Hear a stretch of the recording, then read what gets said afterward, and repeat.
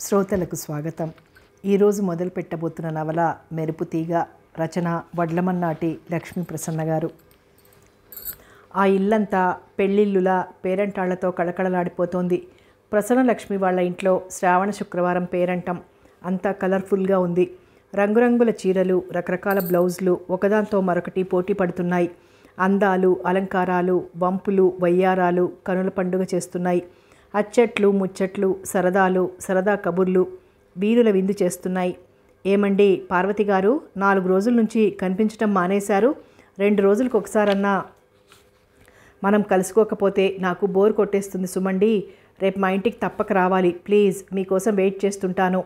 వచ్చిన నాలుగు ఇంగ్లీష్ ముక్కలు పొదుపుగా యుక్తిగా ప్రయోగించింది నేర్పరి నీరజ. మిమ్మల్ని చూడగానే నాకు అంతే నీరజ గారు. మా చెల్లెలు బొంబాయి నుంచి వస్తున్నట్టు టెలిగ్రామ్ ఇచ్చింది. దాని మొగుడు అక్కడ పెద్ద డాక్టర్ లేండి. నెలకు రెండు వేలు జీతం. ఏ రోజుకు ఆ రోజు వస్తుందని రోజు నాలుగు రకాల పిండి వంటలు చేసి దానికోసం ఎదురు చూడటమే సరిపోయింది. ప్లేన్ టికెట్ దొరక్కనో ఏమో అది రాలేదు. గొప్పలు చెప్పుకోవటం నా జన్మ హక్కు అన్నట్టుగా బదులు చెప్పింది పార్వతి. హాయ్ సరసు ఈ నెక్లెస్ ఎంతో బాగుందోయ్ బ్యూటీ క్వీన్లా ఉన్నావనుకో? చిరునవ్వుతో సరస్వతిని అభినందించింది కొత్త కోడలు కాత్యాయిని. ఆ పొగడ్తలోని అర్థమేమిటో సరస్వతికి తెలుసు. వెంటనే అందుకుంది. నీ బంగారు గజలకి మాత్రమేమిటోయ్? లేటెస్ట్ ఫ్యాషన్తో ఎలా మెరిసిపోతున్నాయో? అంది ప్రసన్న వదనంతో. కాత్యాయిని బెలూన్లా ఉబ్బిపోయింది. ఆ చివర కూర్చున్న ప్రౌఢ పంకజాక్షి వంకలు వెతుకుతూ నెమ్మదిగా అంది.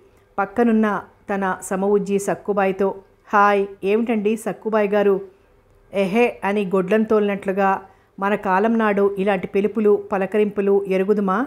తగుదునమ్మా అంటూ ఈ కాలపు ఆడవాళ్ళు ఎంత బరితెగించిపోయారు అంటూ బుగ్గలు నొక్కుకుంది. హాయ్ అని పిలుచుకోవటమే మహా అపరాధం ఆమె దృష్టిలో. కాలమండి పంకజాక్షి గారు ఇది కలికాలం. మీరింకా మిగతా విషయాలు గమనించలేదు. అదుగో సుబ్బరామయ్య గారి కూతురు ఆ సుభాషిణి చూడండి. అట్టాగేనా? ఆ చీర బొడ్డు కిందకి కట్టుకోవటం? అసలే అది దేవతా వస్త్రం. ఆ జాకెట్ చూడండి. బెత్తడు కూడా లేదు. భుజాలు అసలే లేవు. ఆ కళ్ళు దిద్దుకోవటం ముఖానికి బెత్తడు మందాన పౌడర్ అద్దుకోవటం గిన్నె బోలించినట్టుగా సిగ చుట్టుకోవడం అవ్వా ఈ రోజుల్లో ఆడాళ్ళకు సంసారం చేసుకునే లక్షణాలు ఎక్కడా కనపడడం లేదండి. అందుకే ధర్మం ఒక్క పాదం మీద నడవడం లేదు. తన అమూల్యమైన అభిప్రాయం ఆడాళ్ళందరి మీద వెలిబుచ్చింది. ఈ చీరలు ఎంత కొన్నారు? మీ వంటికి బాగా మ్యాచ్ అయింది అని మేళమాడింది ఓ నల్ల సుందరిని మరో నారీమణి మాలిని. మీరిష్టువాచి బెస్ట్గా ఉంది. ప్రాస కోసం ప్రయాసపడింది మరో పడతి మాధవి. నేను అబద్ధాలు చెప్పను. ఈ కంచిపట్టు చీర మా వారు సైకిల్ మీద కంచి వెళ్ళి తెచ్చారు అంది ఓ అరుంధతి. గొల్లున నవ్వారు పేరంటాళ్ళు. అరుంధతి ముఖం ఆవగింజంత అయింది. ఈ స్లిప్పర్లు చాలా ఆర్టిస్టిక్గా ఉన్నాయి. మీరు బొమ్మలు గీస్తారా? హాబీలంటే ఇష్టపడే హరిణి సందేహం. మీ హ్యాండ్ బ్యాగ్ చాలా బాగుంది. ఇది నేను కానుకగా తీసుకుని మీ మనసుకు సంతోషం కలిగించనా? బేవార్స్ భానుమతి లౌక్యం. మీరసలు సినిమాలే చూడరా? ఎంత విచిత్రం. నాకు మొదటి రోజున కొత్త సినిమా ఫస్ట్ షో చూడందే నిద్ర పట్టదు. సినిమా పిచ్చి సౌజన్య. మా వారు బీఎస్సీ మా అమ్మాయి ఎంఎస్సి నేను బీఏ. మా వారు బీఏ. మా ఇంట్లో అందరూ గ్రాడ్యుయేట్లు పోస్ట్ గ్రాడ్యుయేట్లు. మీరు పాపం టెన్త్ అన్నా పాస్ కాలేదా? What a pity. డిగ్రీల మోజు దీప సానుభూతి. ఏమండి? అనసూయమ్మ గారు ఆవపెట్టిన అరటికాయ కూర వండటంలో నిమ్మకాయంత సందేహం వచ్చిందండి. ఎప్పుడు రమ్మంటారు మీ ఇంటికి? తిండిపోతూ తేజోవతి అభ్యర్థన. ఇందు ఎంత అందంగా ఉన్నావు? ఈ పూట రాత్రికి మా మరిది నిన్ను నిద్రపోనీయడులే. మొగుడు సరిగ్గా చూడని మాధురి గుసగుస. కుటీర పరిశ్రమల వల్ల లాభమేమి? వార్తాపత్రికల వల్ల ఉపయోగమేమిటి?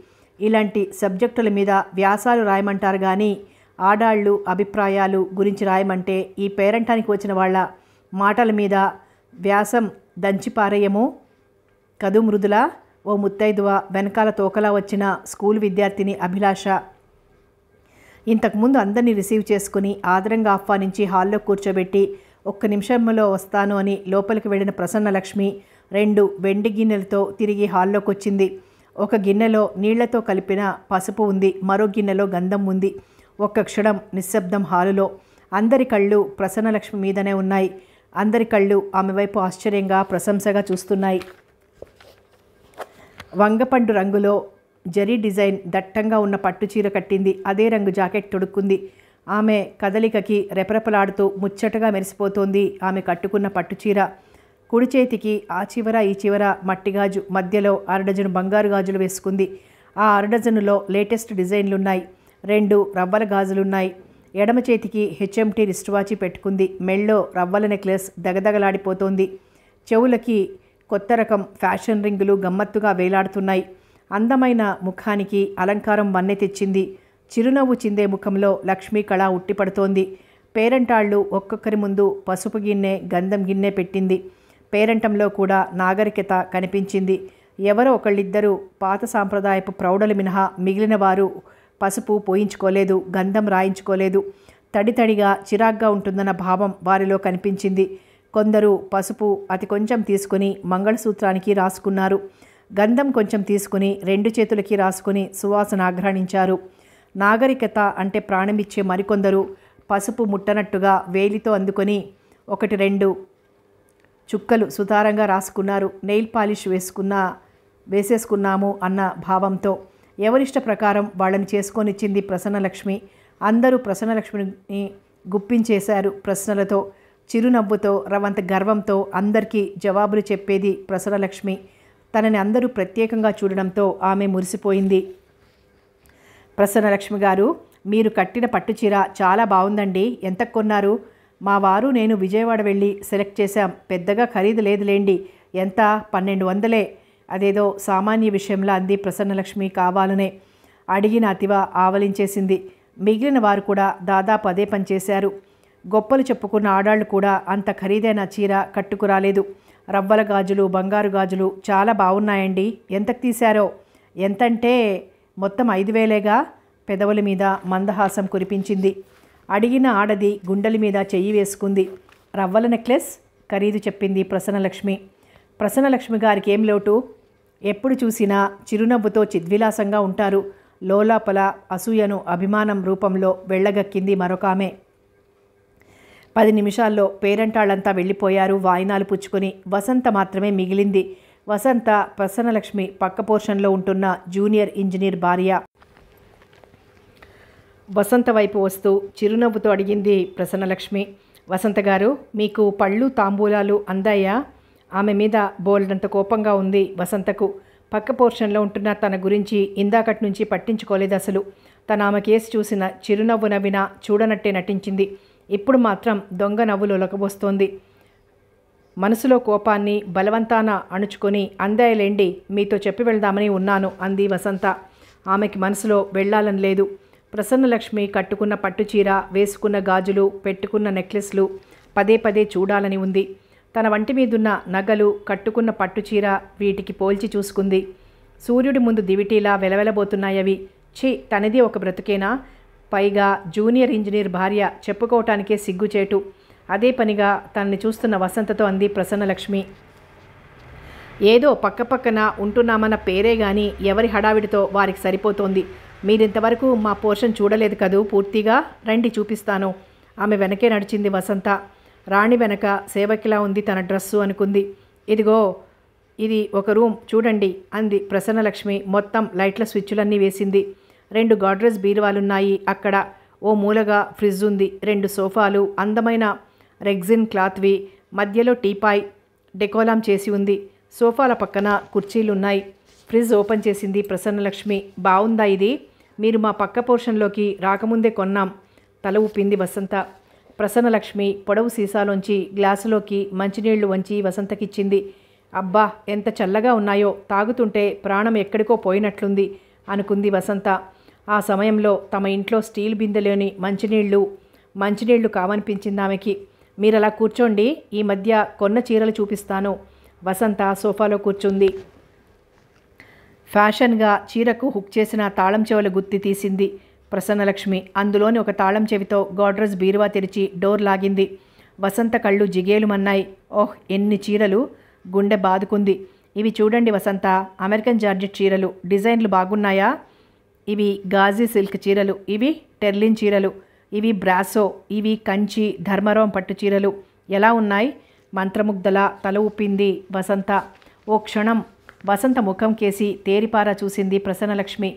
కాస్ట్లీ శారీస్ కట్టడం మీకు అలవాటు లేదనుకుంటాను నిజానికి ఈ కంచిపట్టు చీర తెల్లది. చూడండి మీ అందానికి వన్నె తెస్తుంది ఆడాళ్ళ అందమంతా నిజానికి బట్టల్లోనూ నగల్లోనూ ఉంటుందంటే నమ్మండి.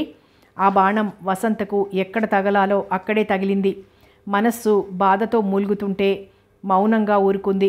చీరలు చూపించాక తను పెట్టుకున్నవి కాక ఇంకా ఉన్న నగలు చూపించింది ప్రసన్నలక్ష్మి. కళ్ళు చెదిరిపోయాయి వసంతకు. డైనింగ్ హాల్లో ఉన్న సన్ గ్లాస్ డైనింగ్ టేబుల్ చూడముచ్చటగా ఉంది. దానికి నలువైపులా ఉన్న ఆరు కుర్చీలు అందంగా ఉన్నాయి. కిచెన్లో ఉన్న gas stove cooker grinder boiler crockery cutlery తనని పరిహసిస్తున్న పరిహసిస్తున్నట్లు ఫీల్ అయింది వసంత. మిగతా రూముల్లో ఉన్న ఖరీదైన ఫర్నిచరు రేడియో కుట్టు మిషన్ టేబుల్ ఫ్యాన్లు సీలింగ్ ఫ్యాన్లు చూసి ముక్కున వేలేసుకుంది. బెడ్రూమ్లో ఉన్న డబుల్ కాట్ దాని మీదున్న ఫోమ్ బెడ్ దానిపైన అందమైన బెడ్షీట్ మంచానికి దగ్గరలో డ్రెస్సింగ్ టేబుల్ దానికి అమర్చిన నిలువుటద్దం. ఓహ్ జీవితం అంటే ఇలా ఉండాలి అనుకుంది వసంత. ఇవన్నీ విలాస వస్తువుల కింద లెక్క కాదు. వసంత గారు నిత్య జీవితంలో ఇవన్నీ అవసరాలే. కనీసం ఇవన్నా లేకుండా బతకటం అంటే నా వల్ల కాదు బాబు. మిమ్మల్ని చూస్తే నిజంగా నాకు చెయ్యెత్తి మొక్కాలనిపిస్తుంది. ఎందుకని? నివ్వెరపోయింది వసంత. మీ వారు చక్కటి జీతం తెస్తూ ఉండి కూడా ఇవన్నీ లేకుండా మీరు మేనేజ్ చేయగలుగుతున్నారంటే అది మీ సర్దుకుపోయే గుణానికి చక్కని నిదర్శనం. అందులోని సున్నితమైన హేళన గుచ్చుకొని నొచ్చుకుందామే. కానీ ఏమనగలదు? ఈయన్ని రాని చెప్తాను అనుకుంది ఉక్రోషంతో. థ్యాంక్స్ ప్రసన్నలక్ష్మి గారు. నే వస్తా మరి. తన పోర్షన్లోకి వచ్చేసింది. కనుచీకట్లు ముసురుతున్నాయి. లైట్ వేసి తేరిపారా చూసింది వసంత. ప్రసన్నలక్ష్మి ఇంట్లో చూసిన సామాన్లు కళ్ళల్లో మెదులుతున్నాయి. రాజును చూసిన కళ్ళతో మొగుణ్ణి చూసినట్లుగా ఉంది వసంతకు. దిగులుగా మంచం మీద వాలిపోయింది. సాయంత్రం ఏడు గంటలైంది. మున్సిపాలిటీ వారి దీపాలు గుడ్డి వెలుగుతో సరసాలాడుతున్నాయి. రోడ్డు మీద జనం అటు ఇటు తిరుగుతున్నారు హడావిడిగా. బందర్ అచ్చుపేట వెంకటేశ్వర స్వామి వారి ఆలయంలో గంటలు మోగుతున్నాయి. పేరంటాళ్ళు ముచ్చట్లాడుకుంటూ వీధుల్లో నడుస్తున్నారు. గంటల తాగే ఆగే వరకు వెయిట్ చేసి సైకిల్ బెల్ మోగించాడు. వాకిట్లో నిల్చున్న మూర్తి తలుపు తెరుచుకోలేదు. ఆశ్చర్యమేసింది అతనికి. చిరునవ్వులు కురిపిస్తూ దర్శనమిచ్చే దేవత ఏదీ రాదే మళ్ళీ మోగించాడు. మళ్ళీ ఆశ్చర్యం వేసింది మూర్తికి. సైకిల్ స్టాండ్ వేసి రెండడుగులు నడిచి తలుపు తట్టాడు. బద్ధకంగా తెరుచుకున్నాయి తలుపులు. వసంత పిలిచాడు. పలకలేదు. విసవిస నడిచి లోనికి వెళ్తున్న ఆమె రూపం ఆమె వయ్యారమే కనిపించాయి. వసంతకు కోపం ఎందుకొచ్చింది? ప్రశ్నించుకున్నాడు మూర్తి. సినిమాకు వెళ్దామని చెప్పి నిరుత్సాహపరచలేదే తను. కారణం ఏమిటి మరి? సైకిల్ ఇంట్లో పెట్టి మళ్ళీ వసంత అని పిలిచాడు. ఈసారి పలకలేదు వసంత. ఏదో గట్టి విషయమే అనిపించింది మూర్తికి. బతిమాలటం మినహా వేరే శరణ్యం లేదు అనుకున్నాడు. ప్యాంటు షర్టు విప్పేసి లుంగీ కట్టుకొని బనిన్ తొడుక్కున్నాడు. కాళ్ళు ముఖం చేతులు వాష్ చేసుకుని వచ్చాడు వసంత మంచం మీద బోర్లా పడుకుని ఉంది. వీధి తలుపు వేసొచ్చి వసంత పడుకున్న మంచం మీద కూర్చున్నాడు. నడుం మీద చెయ్యి వేసి ప్రేమగా నిమిరాడు. విదిరించి కొట్టింది వసంత. అయినా వెనుకాడలేదు మూర్తి. దేవిగారి కోపానికి కారణమేమిటో అనునయంగా అన్నాడు. మళ్ళీ మీద చెయ్యి వేసి ఈసారి విదిలించుకోలేదు వసంత. నేను మీతో మాట్లాడదలుచుకోలేదు అంది బుసకొడుతూ. పోనీ పోట్లాడు నవ్వేశాడు మూర్తి. ఆమె నడుము మీద చేతులు వేసి లేవనెత్తాడు. తన వైపుకు తిప్పుకొని బలంగా గుండెలకు హత్తుకున్నాడు. అతని లాలనకు ఆమె మనసు మెల్లిగా కరుగుతోంది. ఉన్నంతలో తనని ఎంతగానో బాగా చూస్తున్నాడు భర్త. అతన్ని గట్టిగా పెనవేసుకోవాలనిపించింది. కానీ అలా చేస్తే తన అతనికి లోకు అయిపోతుంది తన పథకం విజయవంతం కాదు. తన ప్లాన్ పారాలంటే అతనితో చనువు తగ్గించుకోవాలి పేచీ పెంచుకోవాలి. నేను మీతో మాట్లాడను మూతి ముడిచింది. అలా అంటూనే మాట్లాడుతున్నావుగా? పకపక నవ్వాడు. చాలేండి వేళాకోళం కసిరింది. మూర్తి ఆమెను సందిట బిగించాడు. ఎందుకు కోపం డార్లింగ్? నీకు నేను సినిమాలు చూపిస్తూనే ఉన్నాగా? సినిమాలు ఒక్కటే చూపిస్తే చాలా? చాలదనుకో మనకు ఉన్నంతలో నీకేమీ లోటు చేయటం లేదే. మాట్లాడలేదు వసంత. నీ మనసులోని ఉద్దేశం దాపరికం లేకుండా చెప్పు వసంత. లేకపోతే నాకు ఎలా తెలుస్తుంది? మరేం తెలుస్తుంది మీకు? ఆఫీసు వర్కు ఫీల్డ్ వర్కు ఇదేనా? నిరసనగా అంది. అర్థం కాలేదు మూర్తికి. అవి తెలియకపోతే ఉద్యోగం ఎలా చేయగలం? అమాయకంగా పోజు పెట్టకండి. ఒక ఉద్యోగం చేస్తే చాలదు. కట్టుకున్న భార్యను సంతోషపెట్టాలంటే పరవశంగా నవ్వాడు మూర్తి. ఇక్కడ ఈ కొలువులోనూ దేవిగారిని బాగానే సేవించుకుంటున్నాగా? చిలిపిగా అన్నాడు. ఆపండి మీ శృంగారం. మరేం కావాలి బంగారం? రైమ్ కోసం తంటాలు పడ్డాడు మూర్తి నవ్వుతూ. అది అలా రండి పాయింట్కి. మీరు సర్వీస్లో చేరి ఎన్నాళ్ళైంది ఐదేళ్ళైంది అవునా? అక్షరాల. మన పెళ్ళై ఎన్నాళ్ళైంది ఉద్యోగం రావటం అమ్మాయి గారు అబ్బాయి గారు చేతి తాళి కట్టించుకొని ఒళ్ళో వాలటం ఒక్కసారిగానే జరిగాయి. అంటే ఐదేళ్ళు మాటేగా? అందుకు సందేహమా దేవి? ఆపండి కాసేపు వేళాకోళాలు వెక్కిరింతలు. నేను సీరియస్గా అడుగుతున్నాను. జీ హుజూర్ బుద్ధిమంతుడిలా పోజు పెట్టాడు మూర్తి. ఈ ఐదేళ్ళలో నా వంటి మీదికి ఎంత బంగారం చేర్చారు మీరు? అది నాకన్నా నీకే బాగా తెలుసుగా డార్లింగ్. తెలుసు గనకే చెప్తున్నాను వినండి. రెండు జతల బంగారు గాజులు మాత్రం ఉన్నాయి. సూత్రం గొలుసు కాకుండా నల్లపూసల గొలుసు చెవులకి రింగులు మెళ్ళో నెక్లెస్ అంతేగా? అవును అవును అని గొప్పగా చెప్పుకోవటానికి ఇదైనా లేదు. ఏమిటి నువ్వనేది?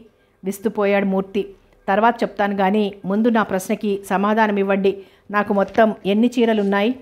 ఏమిటి భార్యమణి? ఈ స్టాటిస్టికల్ ఇన్ఫర్మేషన్ ఎందుకు? కావాలి చెప్పండి. అంతే. నాకు వివరాలు తెలియవు. నువ్వే చెబుదు. సరే వినండి. ధర్మవరం పట్టు చీర దాని ఖరీదు బోడి నాలుగు వందలు. వసంత నాలుగు వందల రూపాయలు నీ దృష్టిలో విలువలేనివా? ఆశ్చర్యంతో నోరు తెరిచాడు మూర్తి. మిగతావన్నీ మామూలు ఫుల్ వాయిల్ హాఫ్ వాయిల్ చీరలేగా? జపాన్ జార్జెట్లు మాత్రం పోరగా పోరగా రెండు కొన్నారు. ఇంతకీ నువ్వనేదేంటి? నన్ను ఆపకండి పూర్తిగా చెప్పనివ్వండి. ఇక ఇంట్లో ఫర్నిచర్ చూద్దామా? అది అంతంత మాత్రమే. నాలుగు కుర్చీలు రెండు బల్లలు ఒక మంచం తాతల కాలం నాటి టేబుల్ ఒకటి. మీ చేత సీలింగ్ ఫ్యాన్ వేయించేసరికి తాతలు దిగొచ్చారు. ఇంకా కిచెన్లో ఖరీదైన వస్తువు అంటూ ఒక్కటైనా ఉందా? వసు ఆమె కళ్ళల్లోకి చూస్తూ అతి నెమ్మదిగా అన్నాడు. ఎంతోమంది కన్నా మన జీవితం పై మెట్టు మీద ఉంది. హాయిగా గడిచిపోతోంది కూడాను. ఉన్నదాంతో తృప్తి పడటం నేర్చుకుంటే మనశ్శాంతి దూరం కాదు. ఈ ధర్మపర్ణాలు కాదు నాకు కావాల్సింది. అతన్ని విదిలించుకొని దూరంగా జరిగింది. నన్నేం చేయమంటావు వసు? మీకసలు చిన్నతనం అనేది ఉంటేగా భార్య నలుగురిలో నవ్వులు పాలవటమేగా మీకు కావాల్సింది? కళ్ళతోనే ప్రశ్నించింది. ఏమిటా మాటలు వసు? నువ్వు నవ్వుల పాలైతే అది నాకు కాదా? లేకపోతే ఏమిటండి? మన పక్క పోర్షన్లో ప్రసన్నలక్ష్మి మొగుడు ప్రభాకర్ చేసే ఉద్యోగం ఏమిటి డ్రైనేజీ యూనిట్లో సూపర్వైజర్ నీకు తెలుసుగా అతను చేసే ఉద్యోగం ఏమిటో మీరు చేసే ఉద్యోగం ఏమిటి అబ్బా ఏమిటి ప్రశ్నావళి Vasu? I and C department irrigation బ్రాంచ్లో జూనియర్ ఇంజనీర్ అని నీకు తెలిసే ఎందుకు అడుగుతున్నావు ఇవన్నీ? తెలుసు గనకే అడగాల్సి వచ్చింది మీకన్నా అతని జీతం కొద్దో గొప్పో చిన్నదిగా జీతం మీదే జీతం మీదే ఎక్కువగా జీతం ఎక్కువే అనుకో బిఈ చదవటం వల్ల కానీ అతనికి సర్వీస్ ఎక్కువ ఉంది ఎనిమిదేళ్ళ నుంచి పనిచేస్తున్నాడు. సూపర్వైజర్ ఉద్యోగం చేసే అతని ఇంట్లో ఏమేం వస్తువులున్నాయో తెలుసా? ప్రసన్నలక్ష్మికి ఎన్ని నగలు చీరలు ఉన్నాయో తెలుసా? ఏమో నాకేం తెలుసు. నాకు మాత్రమేం తెలుసు. ఇవాళ పేరంటం పుణ్యమా అని వాళ్ళ పోర్షన్లోకి వెళ్ళటం. అవన్నీ ఆమె నాకు చూపించడం వల్ల తెలిసింది. హఠాత్తుగా మూర్తిని దగ్గరకు లాక్కొని రహస్యం చెప్తున్నట్లుగా చెప్పింది వసంత. ఆ నగలు చీరలు వస్తువుల వివరాలు. మూర్తి ఏ భావం కనిపించని ముఖం పెట్టాడు. అలా బొమ్మలా చూడటానికి కాదండి నేను మీకు చెప్పింది. అతన్ని వదిలేస్తూ అంది. మరెందుకో? ఒక సూపర్వైజర్ పెళ్ళానికే అన్ని నగలు చీరలు ఉంటే నాకెన్ని ఉండాలి అంటున్నాను. లేకపోతే ఆమె ముందు నాకు చిన్నతనం కాదు. ఏం మాట్లాడరేం? వాళ్ళ ఇంట్లో ఉన్న సామాన్లలో మనకు నాలుగో వంతు కూడా లేవు. నాకెంత సిగ్గుగా ఉంటుంది? వసు వీపు మీద చెయ్యి వేసి మెల్లిగా నిమురుతూ అన్నాడు. ఎవరి కష్టసుఖాలు వాళ్ళవి? మనకు వచ్చే సంపాదనలో మనం సరిగ్గా బతుకుతున్నామా లేదా? అంతవరకే ఆలోచించాలి కానీ అలా ప్రభాకర్ లాంటి వాళ్ళతో పోల్చుకుంటే మనస్తాపం తప్ప ఏమీ మిగలదు. పైగా నాకున్న బాధ్యత వేరు. నా జీతంలో నేను నెలకు విధిగా నాలుగొందలు ఇంటికి పంపాలి. లేకపోతే తల్లిదండ్రులు మలమల మాడిపోతారు. స్కూల్లో చదువుకుంటున్న తమ్ముడు చెల్లాయిల చదువు మధ్యలోనే ఆగిపోతుంది. పుట్టబోయే మన పిల్లల భవిష్యత్తు కోసం నెలకు వంద రూపాయలు రికరింగ్ డిపాజిట్ వేస్తున్నాం. ఇవి పోతే మిగిలే నా జీతం ఐదు వందల రూపాయలు. దాంతో మనం బాగానే బతుకుతున్నామని నా ఉద్దేశం. ప్రసన్న లక్ష్మితో కాకుండా వేరే ఆధారం లేని ఓ ఎల్డీసీ భార్య సంపాదనతో పోల్చుకో నీ జీవితం ఎన్ని రెట్లు మెరుగ్గా ఉందో తెలుస్తుంది. అయిందా లెక్చరు? ఇంకా ఉందా? లెక్చర్ కాదు వసు నేను చెప్పింది జీవిత సత్యం. లేకపోతే ఏమిటండి? మనకన్నా పైవాళ్ళ జీవితంతో పోల్చుకుంటేనే మనం కూడా ఆ స్థాయికి ఎదగాలన్న తపన కలుగుతుంది. దానికి తగ్గ కృషి చెయ్యాలనిపిస్తుంది. అంతేకాని మనకన్నా కింద మెట్టులో ఉన్న వాళ్ళ జీవితానికి పోల్చుకోవటం ఆశావాదానికి గొడ్డలి పెట్టు సరే అదంతా నాకెందుకు కానీ నాకు ప్రసన్నలక్ష్మికున్న చీరలు నగలు కావాలి. మనింట్లోనూ అలాంటి లగ్జరీ వస్తువులన్నీ చేరాలి. మూర్తి జవాబు చెప్పలేదు. మళ్ళీ రెట్టించింది వసంత. నిర్లిప్తంగా నిట్టూర్చాడు. నాకు కావాల్సింది జవాబు నిట్టూర్పులు కాదు. వసు నీకు తెలుసో లేదో నాకు తెలియదు. వెనకాల ఏ ఆధారం లేదు. ప్రభాకర్కి ఒక్క సూపర్వైజర్ ఉద్యోగం తప్ప. అయినా అతను భార్యకి ఇంటికి అన్నీ ఎలా సమకూర్చగలిగాడో తెలుసా? తెలియదు. నిజంగా తెలియకపోతే పరిశీలించు అప్పుడు మాట్లాడు. వసంత ఏదో అనబోయింది కానీ మూర్తి ఆమెకు అవకాశం ఇవ్వకుండా వంటింట్లోకి వెళ్ళిపోయాడు. ఆకలేస్తోందన్నట్లుగా చేసేదేమీ లేక వసంత కూడా లేచి వెళ్ళింది. రెండు మూడు రోజులు గడిచిపోయాయి. రోజుకోసారన్నా తన మనసులోని కోరిక బయటపెట్టకుండా ఊరుకోవటం లేదు వసంత. దానికి బదులుగా చెప్పానుగా నేను అంటున్నాడు మూర్తి విసుగ్గా. ఏమిటి పరిశీలించేది? పైన సంపాదిస్తున్నాడనే సామాన్య విషయం కూడా తెలియనంత మూర్ఖురాల్ని కాదులేండి మీ దయ వల్ల. ఆ సంపాదన ఏ ఏ మార్గాల్లో ఎలా వస్తుందో తెలుసా? నాకెలా తెలుస్తుంది? సాగదీసింది వసంత. అందుకే పరిశీలించమంది. ఏదో చెప్పబోయింది వసంత. నేను చెప్పింది చేసి మాట్లాడు చిన్నారి వేళాకోళంతో వారించాడు మూర్తి. మర్నాడు ఉదయం లెవెల్స్ తీయాలంటూ ఉదయం ఆరున్నరకే కాఫీ తాగి వెళ్ళిపోయాడు మూర్తి. తను కాఫీ తాగింది. గిన్నెలు గ్లాసులు అప్పుడే వచ్చిన పని మనిషికి వేసింది. ఆయన ఎప్పుడో రెండింటికి వస్తారు భోజనానికి. ఇప్పుడే వంట మొదలు పెడితే ఆయన వచ్చేసరికి వండినవన్నీ చప్పగా చల్లారిపోతాయి. ఏ పన్నెండింటికో మొదలు పెట్టొచ్చలేదు. అంతగా మధ్యలో ఆకలిస్తే నిన్న ఆయన తెచ్చిన చక్కెర కేళీలు ఉండనే ఉన్నాయి అనుకుని వారపత్రిక తిరిగేస్తోంది వసంత. అప్పటికి టైం దాదాపు ఏడు గంటలు కావస్తోంది. అయ్యగారు ఉన్నారా అండి? వాకిట్లో ఎవరిదో కొత్త గొంతు విని చదివే పత్రిక అవతల పడేసి లేచొచ్చింది వసంత. ఎవరో ఒక నడివయస్సతను నిల్చున్నాడు. మనిషి నల్లగా లావుగా ఉన్నాడు. వేసుకున్న బట్టలు మాత్రం నీట్గా ఉన్నాయి. భుజం మీద జరీ అంచుల కండువా ఉంది. అతని జేబులోంచి వంద రూపాయల నోట్లు కనిపిస్తున్నాయి. ఎవరు కావాలి? అడిగింది వసంత. మా సూపర్వైజర్ గారు ప్రభాకరం గారి కోసం లెండి. వసంతకి బదులు చెప్పాడు. ఈ లోపుగా లోపల నుంచి భీమన్న వచ్చాడు. వాకిట్లోని వ్యక్తిని చూడగానే వాడి ముఖం చాటంతైంది. రండి సార్ రంగయ్య గారు రండి ఇలా వచ్చి కూర్చోండి అన్నాడు. ఏం బాగున్నావా భీమన్నా? ఐదు రూపాయల నోటు వాడి చేతిలో పెట్టాడు. ఇక తనక్కడ ఉండటం బాగుండదు. లోనికి వచ్చేసింది వసంత. అయ్యా కాంట్రాక్టర్ రంగయ్య గారు వచ్చారు. తమ కోసం అంటూ కేక పెట్టాడు భీమన్న. వసంతలో కుతూహలం పెరిగింది. హాల్లో కూర్చోబెట్టు ఇప్పుడే వస్తున్నాను అని బదులు చెప్పాడు ప్రభాకర్. రంగయ్య హాల్లోకి వచ్చి కూర్చున్నట్లు కుర్చీ చప్పుడైంది. కొన్ని క్షణాల్లో ప్రభాకర్ గొంతు వినిపించింది వసంతకి. ఏం రంగయ్య గారు బాగున్నారా ప్రభాకర్ కూడా వచ్చి కూర్చున్నట్లు మరో కుర్చీ చప్పుడైంది. వసంత వాళ్ళ పోర్షన్కి ప్రసన్నలక్ష్మి వాళ్ళ పోర్షన్కి మధ్యలో ఒక తలుపు ఉంది. ఆ తలుపు తీస్తే వాళ్ళ హాలు కనిపిస్తుంది. ఆ తలుపుకి వసంత పోర్షన్ వైపు గడియ ప్రసన్నలక్ష్మి వాళ్ళ పోర్షన్ వైపు గొళ్ళెం ఉన్నాయి. సాధారణంగా ఆ తలుపు తీసే అవసరం ఇద్దరికీ రాదు. అక్కడికి చేరింది వసంత. తలుపు నానుకుని చెవులు రిక్కించి వినటం మొదలుపెట్టింది.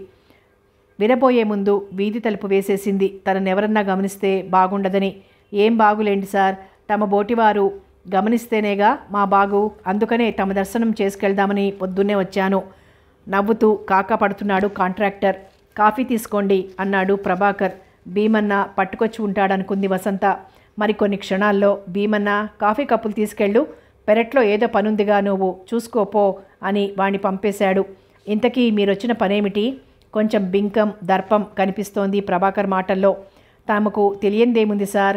ఆ డ్రైన్ వర్క్ పూర్తి చేశాను. రేపు తమకు మెజర్మెంట్ రావాలి. తమరు పూరా సాయం చేయండి. నేను మిమ్మల్ని దాటిపోయేవాడిని కాదు. నో నో నో నా డ్యూటీ నేను చేస్తాను. సాయం గీయం లాంటి మాటలు నా దగ్గర వాడొద్దు. బెట్టు ప్రదర్శించాడు. అమ్మమ్మ తమరలా అంటే నేను నా పిళ్ళం పిల్లలు మట్టి కొట్టుకొని పోతాం. తమరు దయుంచాలి. బతిమాలుకున్నాడు రంగయ్య. ప్రభాకర్ అతను బతిమాలుకుతున్న కొద్దీ చెట్టెక్కుతున్నాడు. సార్ తమరేదో చూసి చూడనట్టు పోవాలా? మీ మేలు నేను మాత్రం మర్చిపోతానా? రంగయ్య జేబులోంచి డబ్బు తీసినట్టు నోట్ల రెపరెప వినిపించింది వసంతకు. ఈ తలుపుకు ఓ కన్నమైనా లేదు. ఉంటే లోపల ఏం జరుగుతుందో కళ్ళారా చూసేది తను. రంగయ్య ప్రభాకర్కి డబ్బెందుకు ఇస్తున్నాడు? ఎంత ఇస్తున్నాడో? ప్రస్తుతానికి ఈ వెయ్యి రూపాయలు ఉంచండి సార్. చెక్కు తీసుకోగానే మళ్ళీ కనబడతాను. బిల్లు కాస్త త్వరగా చేసి ఇవ్వండి. మెజర్మెంటు చెక్ మెజర్మెంటు పూర్తయిన తర్వాత అమ్మో వెయ్యి రూపాయలే గుండెల మీద చెయ్యి వేసుకుంది వసంత. నేను చాలా స్ట్రిక్ట్ మనిషిని. అసలు ఏదో పెద్దవారు మీరింతగా వతిమాలుతుంటే కాదనలేక మీరు బాధపడతారని పుచ్చుకుంటున్నాను. ప్రభాకర్ లౌక్యం వరకబోశాడు. తమరి దయ మా మీద ఉంచండి బాబు. సెలవు తీసుకుంటాను. రేపు పొద్దున నేను వర్క్ దగ్గర ఉంటాను. తమరు వచ్చేస్తారుగా? అన్నాడు. రంగయ్యలో ఇందాకటి బతిమాలటం పోయి చనువు కనిపిస్తోంది. ఓ తప్పకుండా అన్నాడు ప్రభాకర్. రంగయ్య వెళ్ళిపోయినట్లు గమనించింది వసంత. వాడికి జీతం కన్నా గీతం ఎక్కువ పోవే. ఏదో సినిమా పాటలోని చరణం గింగురుమంది వసంత చెవులో. బేబీ అని ప్రభాకర్ పిలవటం వినిపించింది వసంతకి. ప్రసన్నలక్ష్మిని వాళ్ళాయన బేబీ అని పిలవటం చాలాసార్లు వింది వసంత.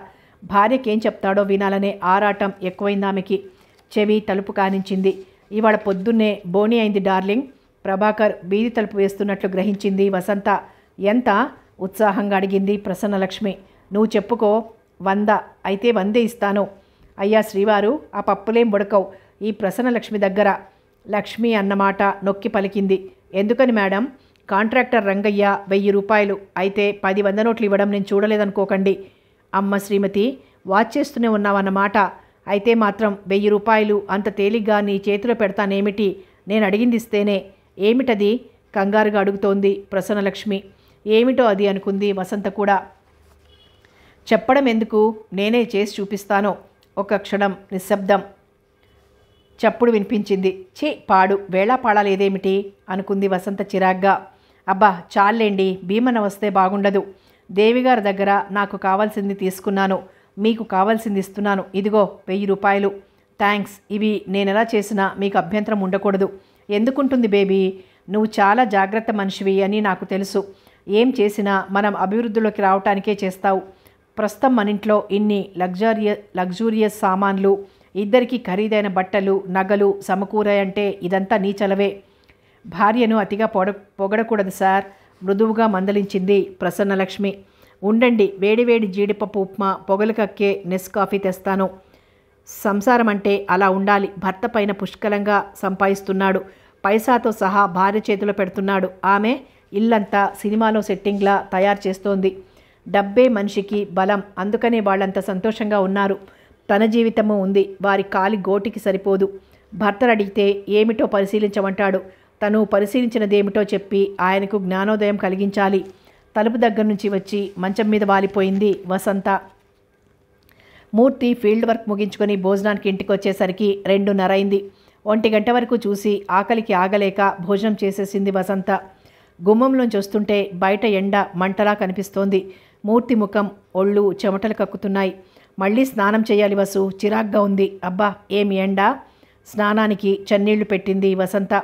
ప్రభాకర్లా మనింట్లోనో ఓ ప్యూన్ని పెట్టరాదు అని అడిగింది తను ఎన్నోసార్లు జవాన్లు గవర్నమెంట్ పని చేయటానికి ఇంట్లో పనులు చేయటానికి కూరగాయలు తేవటానికి కాదు అన్నారు ఆయన. ఏమిటో ఎందంతా చాదస్తం. గవర్నమెంట్ పని బాధ్యతతోనూ నిజాయితీతోనూ చెయ్యాలంటారు. ఒక్క జవాన్ అన్నా ఇంటి దగ్గర లేకపోతే ఎంత ఇబ్బంది? లోపల విసుక్కుంటూనే కావలసినవన్నీ సమకూర్చింది వసంత. పది నిమిషాల్లో స్నానం చేసి లోపలికొచ్చాడు మూర్తి. అతనికి భోజనం వడ్డిస్తూ అనుకుంది వసంత. ప్రసన్నలక్ష్మి వాళ్ళ ఇంట్లో డైనింగ్ టేబుల్ సన్ గ్లాస్తో ఎంత అందంగా మెరిసిపోతోందో. అలాంటిది తమ ఇంట్లోనూ ఉంటే ఎంత బాగుంటుంది? ఆ సమయంలో పీట అసహ్యంగా కనిపించింది వసంతకి. ఏమీ మాట్లాడకుండా వడ్డిస్తున్న వసంతను పలకరించాడు మూర్తి. అమ్మాయి గారేదో ఆలోచిస్తున్నారు. ఏమిటి విషయం? మీ పరిశీలన ఎంతవరకు వచ్చింది? అన్నాడు నవ్వుతూ. ముందు మీరు భోజనం కానివ్వండి. అయితే ఏదో ఉందన్నమాటే అనుకుంటూ భోజనం ముగించాడు మూర్తి. బెడ్రూమ్లోకి చేరాడు. కాసేపు విశ్రాంతి తీసుకుందామని సీలింగ్ ఫ్యాన్ వేశాడు. గాలి ఒంటికి తగులుతుంటే హాయిగా ఉంది. వంటిలు సర్దుకుని వచ్చింది వసంత. కూర్చో చోటు చూపించాడు. కూర్చుంది వసంత. ఆమె మొహం చాలా అందంగా కనిపించింది మూర్తికి. బుగ్గలు తడి చేశాడు ఒక్క క్షణం పరవశంలో ఉన్న తాను మర్చిపోయింది వసంత. కాసేపట్లో తేరుకుంది. తెచ్చిపెట్టుకున్న కోపంతో ఇది తప్ప అయ్యగారికి ఇంకేమీ రాదు. ఆ ప్రభాకర్ సూపర్వైజర్ చూడండి అంది. అమ్మాయి గారి పరిశీలన మొదలైందన్నమాట బేష్. కాసేపు మీ సరదాలు కట్టిపెట్టి నే చెప్పేది వినండి. నెమ్మదిగా మొదలుపెట్టి ఉదయం తను ఆలకించిందంతా చెప్పింది. నవ్వుతూ తను నెమ్మదిగా అన్నాడు మూర్తి. చూసావా జీతం కాకుండా ఆమ్యామ్య బయట నుంచి లార్జ్ స్కేల్లో వస్తుంటే ఎన్నన్నా కొనొచ్చు. మీరు చెప్పింది నిజమే కాదనను. అలా మీరు సంపాదించవచ్చుగా? పిచ్చివసు అది అక్రమ సంపాదన అనర్థం. అది కాసేపు మెరుపు తీగల మెరిసి మురిపిస్తుంది. ఆ తరువాత ఉరిమి నెత్తిన పిడుగులు కురిపిస్తుంది. ఆ కాంట్రాక్టర్ ఇచ్చిన వెయ్యి రూపాయలే నీ కళ్ళు కనిపిస్తున్నాయి కానీ దాని వెనకాల రిస్క్ ఏమిటో నీకు తెలియదు. ఇక అతన్ని చెప్పనీయలేదు వసంత. సింగినాదం ఆరేళ్ళ నుంచి ఆ ప్రభాకర్ పుచ్చు పుచ్చుకోవటం లేదా? కావలసినవన్నీ కొనుక్కోవటం లేదా? అతని మాటల్ని తేలిగ్గా కొట్టిపారేసింది వసంత. నీ పరిశీలన ఒక్క పూటేగా? ఇంకా దాన్ని అలా కొనసాగించు కొన్నాళ్ళు అప్పుడు మాట్లాడు. ఇంకేదో చెప్పబోయింది వసంత. నిద్రలోకి జారుకున్నాడు మూర్తి. విసుక్కుంటూ అతని పక్కన పడుకుందామే. మూర్తి నిద్ర లేచేసరికి నాలుగు గంటలైంది. ఇంకా నిద్రపోతూనే ఉంది వసంత. ఆ భంగిమలో ఆమె అందమంతా విరిసి విరియనట్లు కనిపిస్తోంది. నిగ్రహించుకోలేక ఆమె బుగ్గ మీద ఆమాంతం ఓ ముద్దు పెట్టాడు. ఉలిక్కిపడి లేచింది వసంత. మీకేం పని పాట లేనట్లుంది. బుగ్గ మీద చేత్తో రాసుకుంటూ మందలించింది. ఏం చేయమంటావు వసు? నేను లేచేసరికి నువ్వు ఇంకా నిద్రపోతున్నావు. ఏయ్ మొద్దు లే అని నిన్ను తట్టి లేపుదామనుకున్నాను కొట్టి కొట్టానంటావేమోనని భయం వేసింది. నీ ముఖంలోకి చూశాను. నీ పెదవులు అందంగా కదులుతున్నట్లున్నాయి. నువ్వు ముద్దు ముద్దు అని కలవరిస్తున్నట్లుగా ఉంది. అంతే. ప్రియసతి కోరిక నెరవేర్చాను. నవ్వు ఆపుకోలేకపోయింది వసంత. హరికథలు పిట్టకథలు చెప్పటంలో మాత్రం లోట్లేదు ఎందుకు నన్ను లేపారు? కాస్త టీ పెట్టిస్తే వీడు ఆఫీస్కి వేంచేస్తాడు. ప్లాటింగ్ వర్క్ చాలా ఉంది. లేచి టీ పెడుతూ అనుకుంది వసంత. ప్రసన్నలక్ష్మి ఇంట్లోలా తమకు ఓ గ్యాస్ స్టవ్ ఉంటే కానీ ఇప్పుడు ఆయన్ని అడగకూడదు. ఈసారి జీతం రాగానే పట్టుబట్టాలి కప్పుతో టీ తెచ్చి ఇచ్చింది. అలాగే తాగేసి బట్టలేసుకుని వెళ్ళిపోయాడు మూర్తి సైకిల్ మీద.